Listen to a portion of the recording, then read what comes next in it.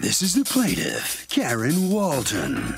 She says she rented an apartment, and unbeknownst to her, the place had no heat and moldy carpeting and loud banging music coming from next door at all hours of the night. She couldn't handle it for long and gave notice and moved out. She's here in the name of tenants' rights, suing the unscrupulous and mean spirited defendant for the $1,762.40 she's owed for security and moving expenses.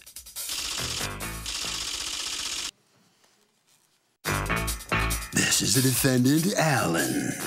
He says the plaintiff was his tenant and she had issues with everything and everyone in the building from day one. From her neighbor's TV being too loud to alleging she had no heat or hot water and taking him to housing court. The woman's a professional scammer. She was a headache. He's happy to be rid of her, and he's confident all of her allegations will be shot down today in this court. He's accused of withholding monies owed.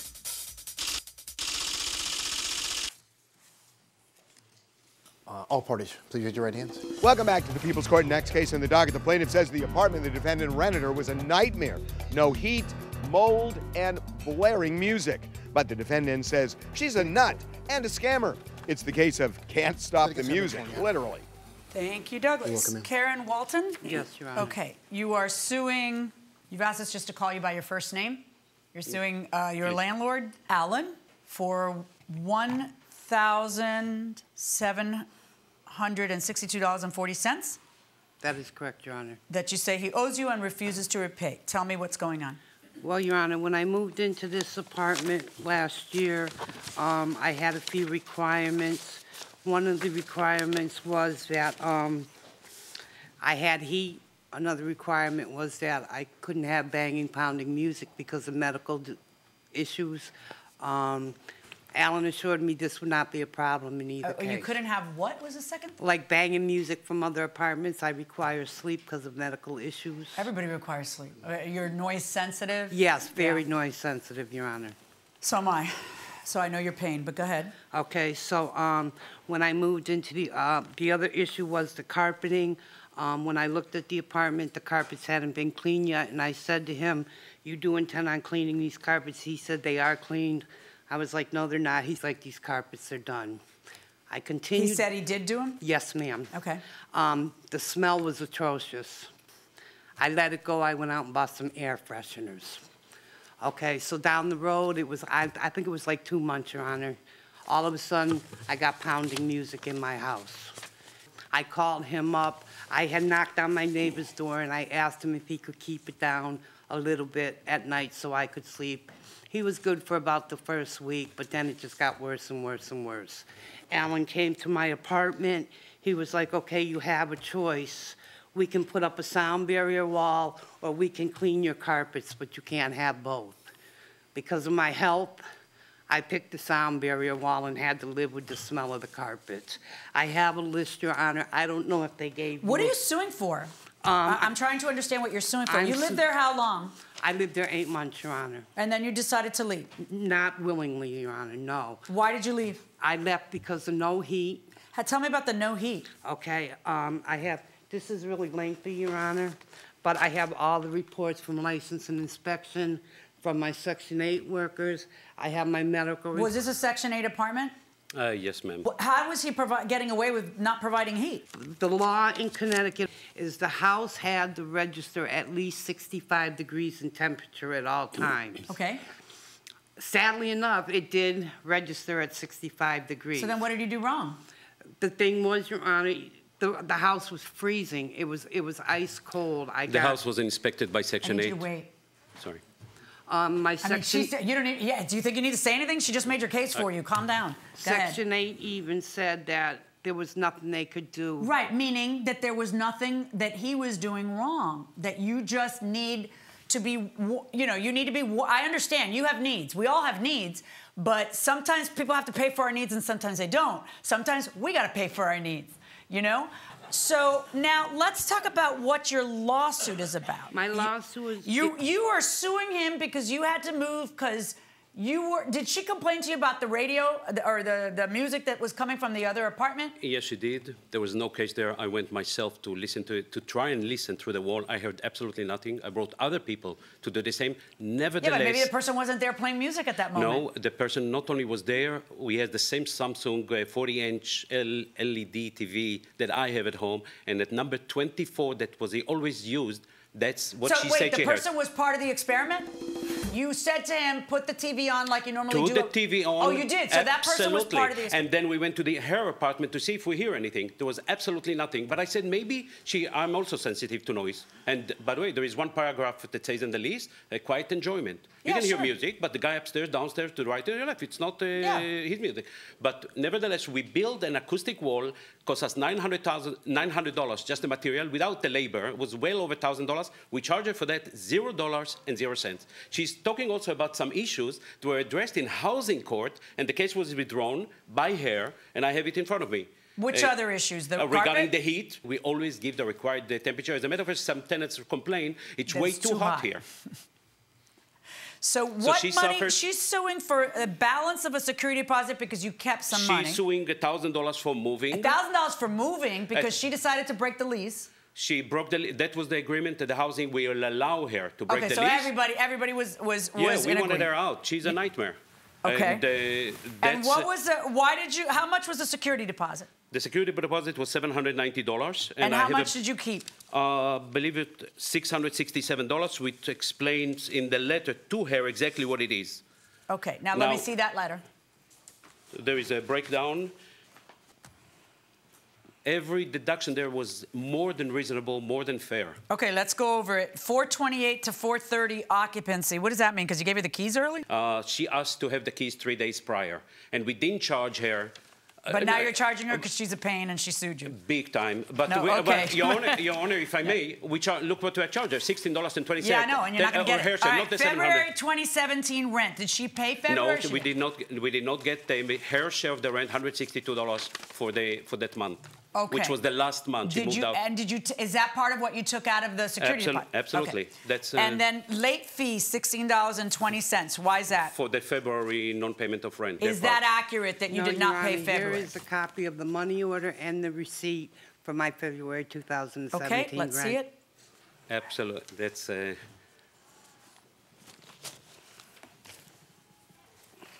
Okay, you, you handed me something for June of 2016. The bottom paper is the copy of the money order and the receipt for my February 2000. How do I know you gave it to him? Your Honor, I mail my rent every month. How do I know that this was cashed by him? He's saying he didn't get it. absolutely not. Your Honor, all I can say is No, but how do you? How does a person prove? She, Your Honor, if I may, if it's a United States Postal Service uh, money order, she can ask the, to see who cashed it. It's CVS. CVS, you can call, it's even easier, you get it faster. You get the front and the back and see who signed for it. Unless she signed it herself, cashed it as a Correct. unused money order. Correct. Why would you think she would do such a thing? Uh, Your if I, uh, you're going to stay here till the end of the year, if I How told you you all the How story. about you just give me a taste? The taste, uh, it's a nightmare working with her, calling me in the middle of the night, texting in the middle of the night, talking nonsense, uh, blaming other tenants for nothing. That, that is the issue. So is 65 degrees too cold for an apartment? Yes. What's the right temperature? Uh, about 70, 75. 75? Yeah. Are you growing plants in there? Oh, yeah. 78. What is going on here? These guys are growing some going inside the courtroom. How do I know that you didn't cash this this MoneyGram? You're just showing me a photocopy of a MoneyGram. That's all. Because I didn't, Your Honor, I mailed. Well, no, that's not how I know. How I would know is that you would get the proof of where the money went, and that you can get from CVS. There's no problem. I didn't know I needed Okay, that. well then you can't prove that you paid. Tell me about the toilet seat. Um, we give like everybody toilet seats, you know, a wooden, the nice one, and not the most expensive, not. Uh, and uh, she used something that elevates, I think, the height of the toilet seats for her convenient. Uh, she said that she gave me the old toilet seats. I don't take toilet seats, never took from anybody. I buy at Home Depot and I. Uh, So you had to buy a and- toilet seat. And not only that, but here is what she gave us, which is, uh, I'll have to get here. Meaning because she took her own toilet seat when she, She left. took an old toilet seat, but she put another one replacement, which is so uh, oversized that you cannot really. Let me see it. It's Carpets replacement odor discoloration. Correct. According okay. to you, any any odor in the carpet is the the result of her cat. The- mainly of her cats, and uh, How many cats does she have? She had one, but the cat never went out or anything. Oh, here is the. one. Let's just two. hand him all the pictures. Let's do that. You know, I, uh, I want to for the Okay, next no one. worries. Hand me these pictures. now, that's the first time that's ever happened. Okay, usually people just want me to sift through stuff. Yeah, that's ridiculous. That cannot possibly be your attempt at replacing the toilet seat. And please And don't- why are you replacing it? Like, according to you, you had permission to change the toilet seat, right? Right. And you left the toilet seat in front of what? In front of. His security room door. Your Okay. Um, except if that's the case, then why did you go out and buy a non-fitting toilet seat to put there? Your Honor, I just tried to replace it because I knew what he was trying to do. I Why would you replace it with a toilet seat that's twice the size of the bowl? I didn't realize that when Did I Did you think it. that was going to be helpful that somebody was actually going to leave it that way for the next tenant? I mean, Section 8 wouldn't approve that. The carpet's replacement odor discoloration. This is wood floors. This is not carpet. That's that after we lifted it? the carpet. That's the Underneath the carpet. urine from the from the cat. Did you have a prior tenant in there that had pets? Uh, no, never. Did she ever complain I- when she moved in that there was a horrible odor that was unbearable? Absolutely not. In fact, Section 8, She- repl- Section 8 Section does. 8 inspected just days before. They and fly spec it. Okay, refrigerator cleaning. Yeah, the, the refrigerator was Do you have filled. pictures of the fridge? Yes, I have. I have also the back of the refrigerator. The back of the refrigerator? Why does she Yeah. have to clean the back of the refrigerator? That's your job. Your The back of the refrigerator? No. Why is a- that the a tenant's free- job? It's a freestanding, well, Do you mean the back of the inside of the fridge? the back of the fridge, meaning all the dirt and the cat hair uh, sitting and here on the the, guard. coils. He did mean the coils. Hand it over. Yeah. Do we have inside? Uh, the inside, yes, but the... light bulbs. Did you take the light bulbs when you left? No, Your Honor, I have pictures of the light bulbs still in the lights. Did she take the light bulbs when she left? yes, she did. Do you have And we pictures of them Yes, I have. missing? Actually, actually, she left one burned. Here they are. I know what she's going to say right now. Here is one. I have a bunch of pictures, by the way. What's she gonna say right now? Here is the stove, by the way. How Wait, tell me, tell me. What's she gonna say right Uh, now? She always denies things, or if something is not comfortable, I'm calling the police. I have how many times she was calling the police. I had enough with it. This your tenant, uh, your uh, owner. This is a tenant from hell, in my opinion. Okay. I don't think you ever experienced something like that. All right, folks. Um, how do you figure he has to pay $1,000 for your moving costs? Your Honor, the only reason I moved out of this apartment was for lack of heat.